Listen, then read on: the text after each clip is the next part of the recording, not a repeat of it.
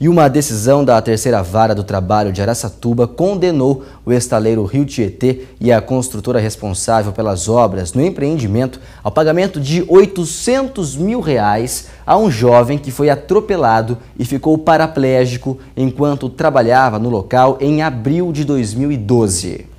Depois do acidente que o deixou paraplégico enquanto trabalhava nas obras de construção do estaleiro Rio Tietê, Jefferson precisou aprender a lidar com as limitações. Antes eu jogava, gostava muito de jogar bola, saía com meus amigos.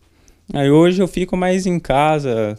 Eles vêm me visitar aqui nas, nas fazem que pode, nas joga videogame, de vez em quando né, faz um churrasquinho aqui. A empresa não reparou, trata-se de, de, megas empresas, poderiam ter pago uma, um tratamento adequado para ele. Né? Quase dois anos depois do acidente, a Justiça do Trabalho condenou o estaleiro Rio Tietê e a construtora responsável pelas obras ao pagamento de indenização no valor de 800 mil reais ao jovem.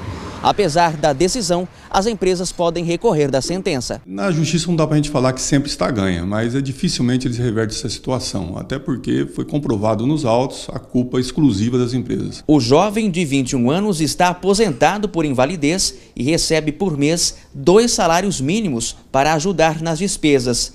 Jefferson depende também dos cuidados da mãe para se recuperar do tratamento. Tem que pôr sonda nele de 4 em 4 horas, tem que fazer curativo, porque criou escara, né, devido a ele estar muito deitado e semi-sentado. Na época em que ficou paraplégico, Jefferson tinha 19 anos. Em abril de 2012, ele foi atropelado por um caminhão carregado de pedra enquanto fazia a colocação de chapas metálicas no galpão do estaleiro. Com certeza vai ajudar minha família, mas tudo que eu, eu trocaria esse dinheiro pela minha vida de volta que eu tinha antes.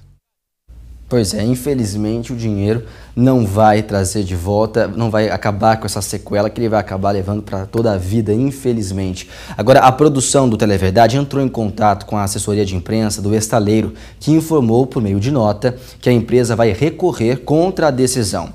Já o departamento jurídico da construtora estrutural de Campinas não quis comentar o assunto.